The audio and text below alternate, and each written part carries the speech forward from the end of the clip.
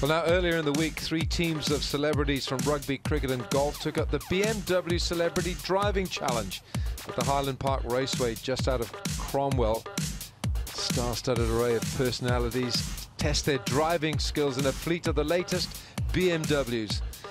Challenges included a gymkhana, an acceleration test, and an ice slalom skid pan. Each team had to put forward one member to compete against uh, each other for each challenge. Points awarded for the fastest times, and a team challenge with double points rounded out on the track activities. Team golf, that was Michael Hendry, Steve Williams, and Brad Kennedy set the tone for the week. The BMW NZ Golf Open by taking out the inaugural BMW Driving Experience Ultimate Driving Machine Challenge. And they won it. Well done to Michael Hendry, Steve Williams and Brad Kennedy.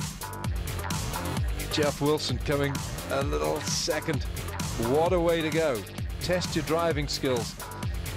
The BMW Celebrity Driving Challenge. All this taking place at the Highland Park Raceway, just out of Cromwell.